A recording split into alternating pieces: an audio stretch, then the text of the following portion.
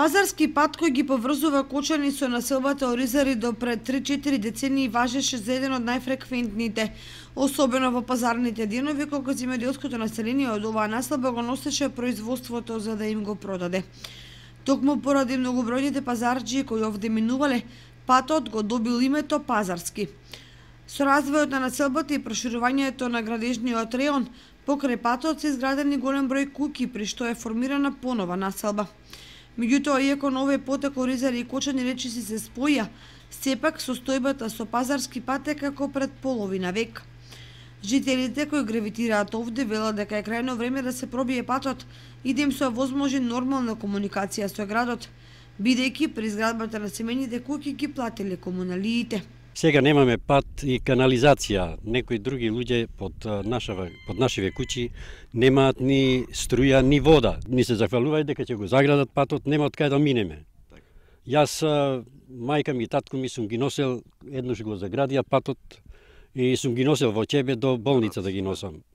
Брза помош ќе дое, нема пристап да дое. Со проблемот на Оризарци од овој дел на сабота и градоначалникот Димитровски.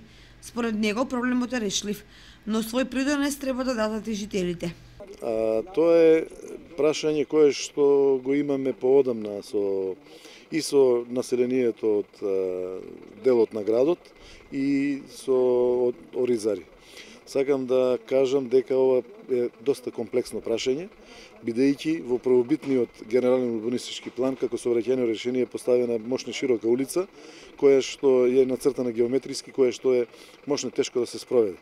Со измените на сегашните измени кои што ги спроведуваме со гупот на град Кочани, ние предвидуваме да се ова улица стесни, да се ја запази она траса која што е постојна, за да немаме експроприација од луѓето и за да можеме да ја поефикасно, односно со помалку пари завршиме. Очекуваме дека за 3 до 4 месеци генералниот урбанистички план ќе биде донесен и ќе пристапиме со детално планирање за да може да ја испланираме за дури тогаш да почне да се реализира.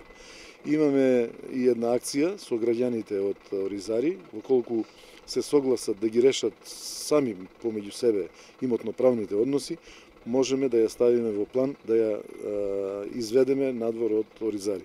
И затоа апелирам до нив, како што направивме на други места и во Оризари, и во други делови од градот Кочани и во другите населени места, да се сложат, да ги решат имотно-правните односи, како би можеле да пристапиме кон решавање на тој дел кој што е во населбата Оризари.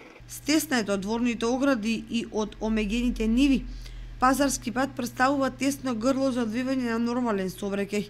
За да се прошири ќе треба да се зафатат приватни имоти, што додатно го комплицира проблемот. Меѓутоа како и да е, овој стар пат мора да се стави во функција за повеќе стотини жители од Оризари да можат по пократка делница да стигнат до Обштинскиот центар.